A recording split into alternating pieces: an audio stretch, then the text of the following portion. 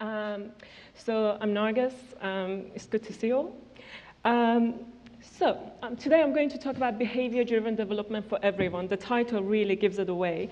But before I do that, um, and I tell you how I got introduced to BDD, I'd like to say what I do, where I work, and what we do. Um, I work, I'm a product designer. I work at ustwo in London. Yeah, as Matt said, some of you might go to Q Space tomorrow. Make sure you play football. It's my favorite sport. Um, um, I've been most recently spending my time as a design lead and a product lead, but by trade, I am a designer, and I've been a designer for, since I started working in this industry. I'm not going to tell you how long. Um, ustwo is a digital product studio. Um, we've got four studios around the world, one of them in Shoreditch in the Tea building. Um, and in London, we are about 100 people.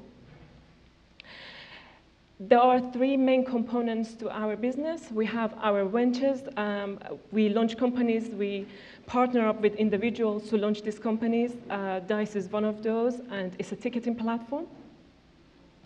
We also have our games team that Matt mentioned. Um, they recently released Monument Valley 2.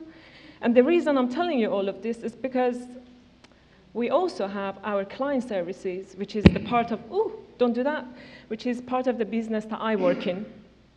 We work all the way from inception to validation of an idea to launch, and we launch the product, we help the clients um, later on as well when the product is in the market with ongoing uh, optimization.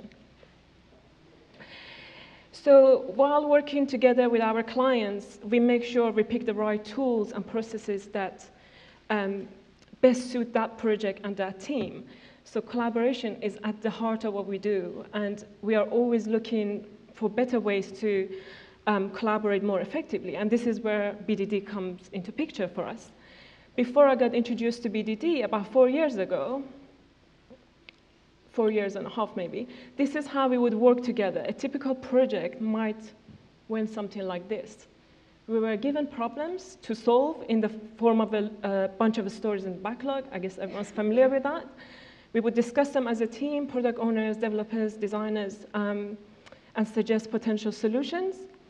And we would start to sketch our ideas and concepts either on a wall or a piece of paper, um, but we would try to get an understanding of what the story is.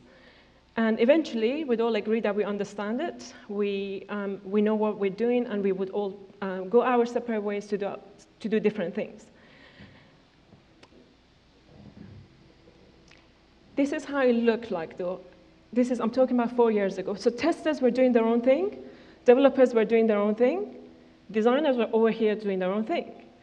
But it felt like, for me as a designer, that testers and developers knew what each other were up to, and they seemed to speak the same language. There was more discussions happening between them.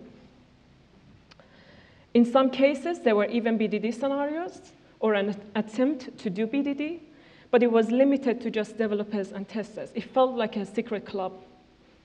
Don't join us. Um, and this was us. If, how, many of, how many designers are here? None. Oh, hello. Here, here we go. I see one. How many of you work with designers? Great. Um, I think you've seen this picture before. And, I, and I'm really against this. It shouldn't, we shouldn't be working like this. As designers, we were coming up with our own solutions to the problems. We would spend hours and hours trying to create wireframes, and then we would take these wireframes and then show it to the developers. And um, it meant that we had to asked them to review the designs, and we were, we were collaborating, we were working together collaboratively, but it felt like if we gave them the, the wireframes on their own, they wouldn't understand what was going on, and we had to spend hours and hours explaining what every wireframe was about. And for me, again, as a designer, I felt like um, I was designing before I really understood the problem, and I tell you why. The trouble starts when you are in those meetings, and this is the kind of questions that developers start to ask you and testers. Um, I realized that developers and testers had already written a load of stuff about the app's behavior that we just hadn't covered in our designs. for me, it didn't make sense. It didn't make sense that I wasn't involved in these discussions from the start. And I truly believe, as a designer, it's not my job to come up with all the solutions to all the problems that exist um, in the form of a story. Um, but that's what we were trying to do. We were expecting designers to come up with, with those answers. And I asked myself, why weren't we involved in this process that seemed to be helping testers and developers so much? Um, so now I'd like to ask you a question. How many of you still require wireframes from designers for the developers to build off of? I see some hands. Thank you. And how many of you expect the designers in your teams to come up with the solutions to each problem? That's really good. Things have changed. and that's what I like to call design-driven development. That's not how we work anymore. I'd like to take you through how we've changed things since we got introduced to BDD, and I'm hoping maybe this can help you um, with your processes. We had to learn a lot about BDD and how it works, and which parts work best for us, and who needs to be involved at what stages over this past four years. Every team at ustwo has their own um, variation on the process. And we might change things as time goes by, but this is what I'm going to talk about. This is what I personally found um, to work for us as, uh, or on the teams that I work with has been working for us. So we have some rules when it comes to BDD. One is involve everyone as early as possible. And by that, I'm talking about product owners, testers, developers, designers in the same room. If you cannot be physically in the same space, we get them on a video chat. Video chat is your, your friend. But the important thing is that every discipline is represented. If you have four developers in your team, one developer can join those sessions, and that's enough. Because then you have a, if you have a team that communicate, they can then go ahead and either show the feature files to the other developers or um, discuss things. But the most important thing is that every discipline is represented. This, um, this is rule number two. We can't start development on a feature or a story until we have written some BDD scenarios. This ensures we have a shared interest in coming up with those scenarios together.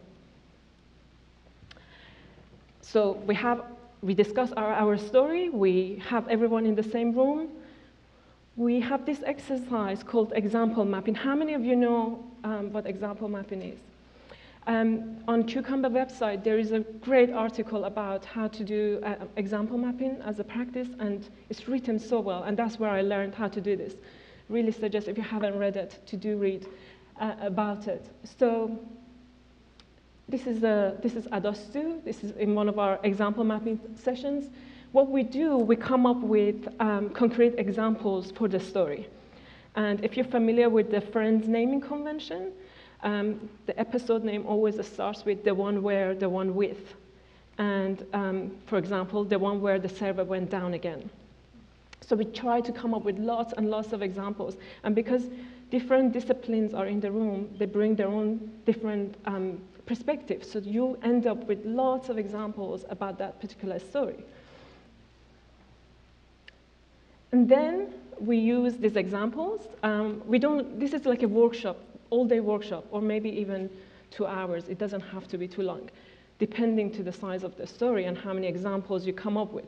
But it's really important that product owners at that point, especially from the client side, if you work with clients, that are, they are in the room because they can tell you um, what's the priority and what isn't. We use these examples to sketch as a group developers included, it's really important that everyone does sketching. You'll be surprised the ideas that people come up with. Um, and we come up with potential design solutions for each example.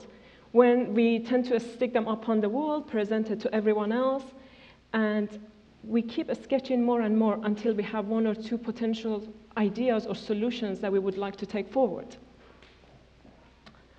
We diverge only after the sketching session we don't, so all the way from the start to this point, we've been working together, everybody in the team, or one person per discipline. Um, after we diverge, this is what we're going to do, if you're wondering.